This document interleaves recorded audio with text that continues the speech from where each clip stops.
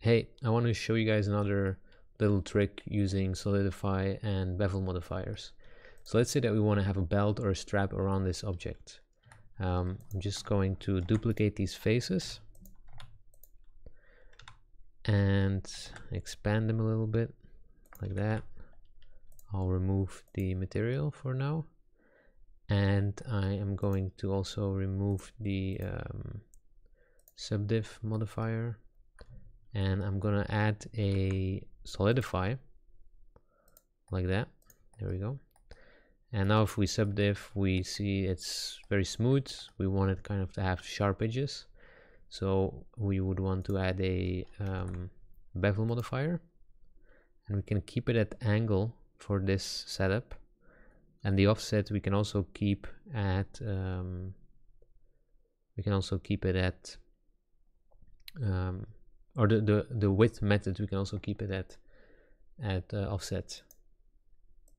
So we do it like this and then uh, now if we subdiv um, obviously we still have soft edges. You could solve that by making your your bevel sharper but we want to have that kind of kind of double bevel effect that I showed you in the previous video.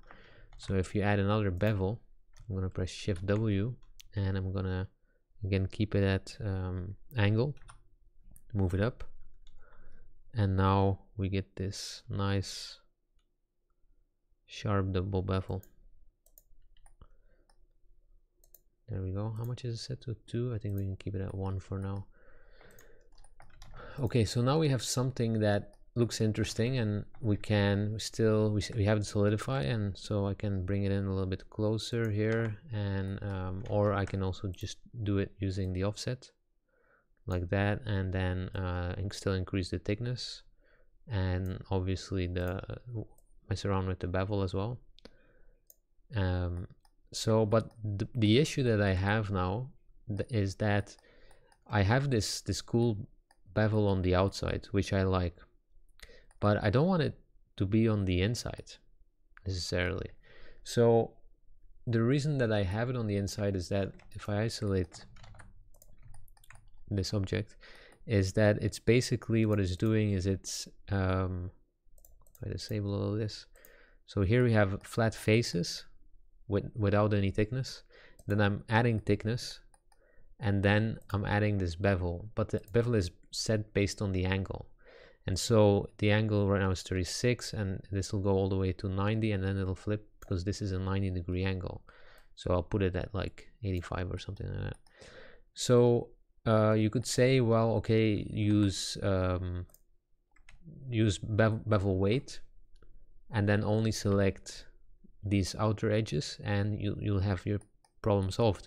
But if I do that I would have to apply the solidify modifier and I don't necessarily want to do that because I want to keep the ability to add thickness um, or tweak the tweak it. Um, so how do we work around this? Um, one way to work around this is to go into Solidify and uh, disable or, or select only rim and now you essentially have your result but the problem you have now is obviously that you have this kind of weird sharp um, yeah, just it, it ends and you, and you have the gap and that's that's not what you want necessarily either. So the trick that I found that I think is quite cool is if you add a second solidify modifier and you add it, I'm just going to disable all of these for now and I'm going to isolate my object. So I'm zooming in a bit.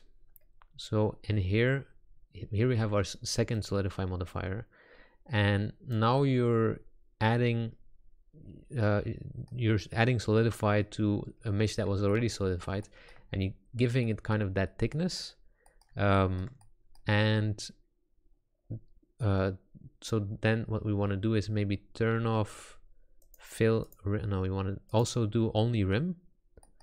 And now we get this kind of effect which is pretty cool. But of course if I enable the bevel angle I'm still having the same issue. So what I would have to do now is move the second solidify modifier under the bevel angle and now we have our desired result so if I, I and I can keep it above the second bevel modifier because then I I get this edge pretty sharp as well. So if I add smooth uh, sub subsurface now, you see that we kind of have that the result that I'm after. So this is pretty cool, I think. Um, it allows you to have to, to maintain your solidify modifier, giving you the freedom to adjust the thickness of your strap or your belt and at the same time uh, get around this problem where you can only bevel one side uh, or or you can't bevel um, uh, discriminatively. Uh, so I thought this was pretty cool, and obviously you can still now tweak uh, your individual bevels, and uh, you can increase the, the the gap here, or you can close the gap more by adding more thickness, and eventually I think you can you might be able to have it merge as well. I think offset rim or no i don't think you can have it merge but i don't think this matters that much to have a little bit of a gap here or even an overlap um, because you you won't see this area anyway right? Uh, so yeah that's that's pretty much it. I hope this is useful